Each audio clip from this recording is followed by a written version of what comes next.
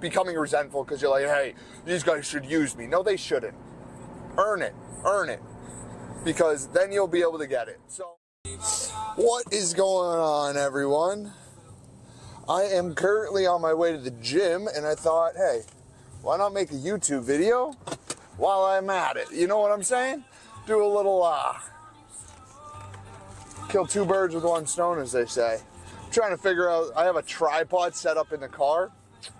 We'll see how that goes. Um, this is my first time doing this, so this might all be scrap footage, but uh, welcome to the video. I just kind of want to do a little bit of a vlog over to the gym, but kind of just give a basis of reality for all you uh, new real estate agents. If you're just getting into it, maybe you said, hey, you know what, 2024 is going to be the year that I become an agent. And um, that's great. I am not against you becoming an agent.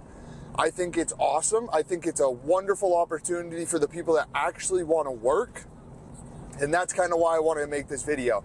Because, of course, social media is highlight reels. You know that. Everyone knows that. Social media is not real life. Um, I'm trying to get on social media and kind of show my real life. And guess what? It's been kind of a slow grind because I don't really put, I don't know, put special things on it. I tell it as it is. And guess what? Life can sometimes be boring and not that entertaining, but I give it to you as a real, so that's what I'm going to do in this video. And uh, I just kind of want to recap. Last year was my first full time year as a real estate agent. My first year with EXP, not a plug for EXP, just saying I switched brokerages, I went to EXP, and I became a solo agent, meaning everything's on me. I have to do all of it. I have to create leads, I have to do the follow up, I have to do the showings, I have to do the listings, everything. It's on me. I'm my own business, I'm an entrepreneur, self made business. So, it's harder than you might think. It's pretty hard. Last year, like, people don't talk about this stuff. I went, at one point, I think I was at five to six months without a paycheck. Five to six months. Tell me how many people would uh, be living good without a paycheck for five to six months. And this is all I'm doing. Luckily, I have rentals to support myself and at least get me by with enough. But it can definitely be tough, especially when I see, like, I used to work with someone at another brokerage that I was at.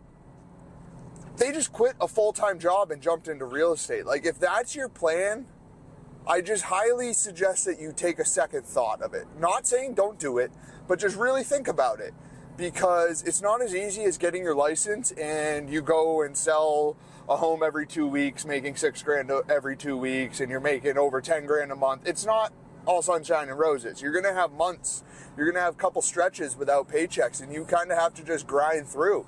And guess what? You're your own motivator, really, in real estate. Like some people have team leaders, of course, and they have brokers that push them a little bit. But if you're in something like EXP, you have support groups. You have I have a bunch of great meetings I go to with people that are doing way better than me. So I'm learning a ton, but first couple of years are just they're difficult. They're slow. It's not as easy as just getting into it and you're selling every day. I wasn't really under that impression. I knew it was going to be a grind, but it's definitely proven to be more difficult than I thought. Like last year I put out literally at least a story. So I post post on social media 365 days last year. I did not miss one day. And I started YouTube. I posted once a week every single week. And this stuff just takes time because compound interest is real.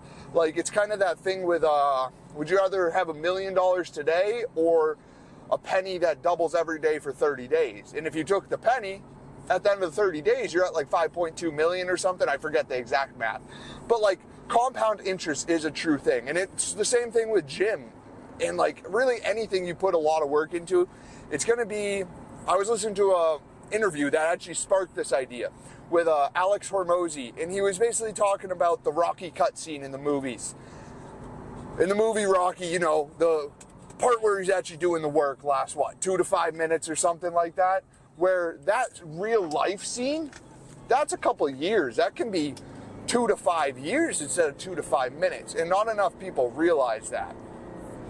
So I just wanted to make this video to kind of give you the reality of it because everyone gets on social media and nobody wants to put their vulnerable, shitty side on social media. Again, I'm trying to be real with you guys. It's not all sunshine and roses. Trust me, I wish it was. I'd be making a lot more money if it was. But right now, I know I'm in that beginning phase. I know I'm in that building phase. So I'm just trying to find what works for me, how I want to do business because, like, yeah, there's different ways I could get business. But I'm really wanting to get business from social media. So I am putting everything right now into social media. I have a couple other sources like Facebook ads, um, certain things from EXP that kind of give me a couple leads here and there, nothing crazy. And then I also send out some mailers to people. I forgot those at the house. I was supposed to send those out. Crud. I was too busy for remembering the camera. Um, but I do those types of things. But again, it's not all sunshine and roses. Now, it is nice when you get a paycheck, but even that you have to be responsible for because guess what? You might go five months without a paycheck and then you get a nice $10,000 check and you're like, whoo, I'm rich. Not really. Not really. That just means you were making what? Like 1700 bucks a month for the last couple months? You're, you're not rich. Um, so, my uh, goal this year is to average one sale a month. I know that doesn't sound like a ton, but I just want to get my consistency in place before I really start saying, hey, I want two to three a month.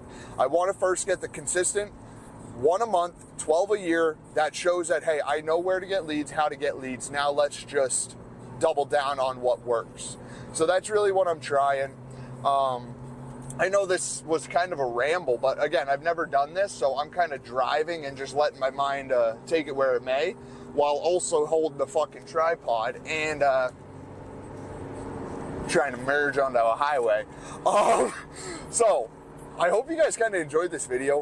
Um, I want to do more stuff like this where it's just like kind of not as much scripted stuff. I'm going to still do scripted stuff, and I might actually get a video editor to help me out with some of that stuff because I've been doing everything myself. So I know I'm kind of limited on my capabilities because I'm not the most creative person in the world, and I'm the first person to admit that.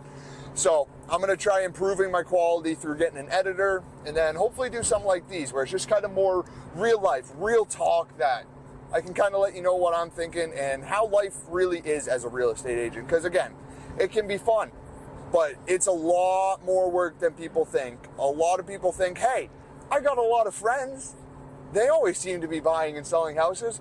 But guess what? Just because you're a friend that goes and gets a real estate license doesn't mean that the other friend's going to use you to buy a house. Chances are they won't. Because for some reason, friends are a little bit weird, which I get. Some people don't like you knowing their financial background and all that stuff. So they think, you know what, maybe it's best we just keep it a friendship.